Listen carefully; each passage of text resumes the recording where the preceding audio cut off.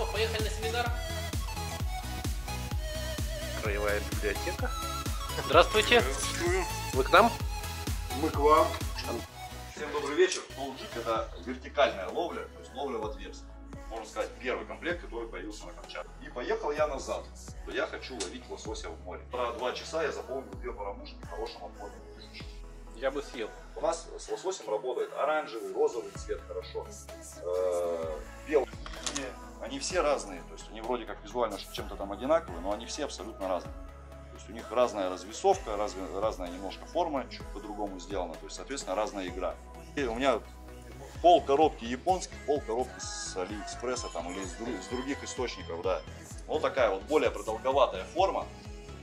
Но у нее тоже, если посмотреть внимательно, у него на одну сторону идет смещение э, этого центра тяжести, да. Он разворачивается в боковую, и он когда тонет, он просто вот так вот.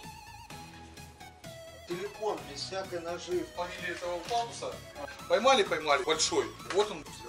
И потом раз там дернул на 70.